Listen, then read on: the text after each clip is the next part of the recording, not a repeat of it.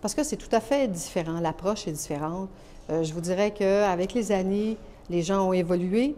Euh, les gens font un premier contact sur les médias sociaux euh, avant d'aller un peu plus loin.